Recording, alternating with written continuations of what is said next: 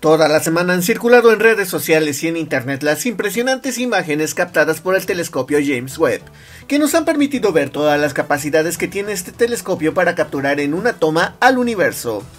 La claridad de las imágenes captadas por el James Webb muestran un cosmos como jamás se había logrado ver, con detalles fascinantes y mostrando todo lo que se tiene todavía por descubrir en un universo enorme en el que vivimos.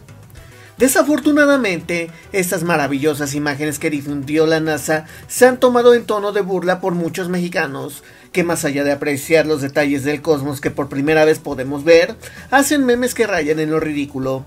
Y de esta manera podemos encontrar que se vuelven más virales imágenes como la difundida por el supuesto influencer Chumel Torres, donde se coloca al cantante Juan Gabriel en medio de una de las mejores fotos tomadas por este telescopio.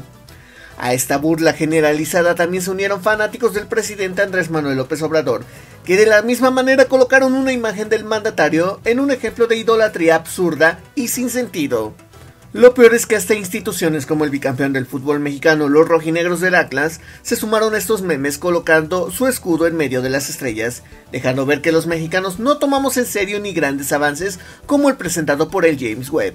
Para Imagen Poblana, Gustavo Mirón Reyes.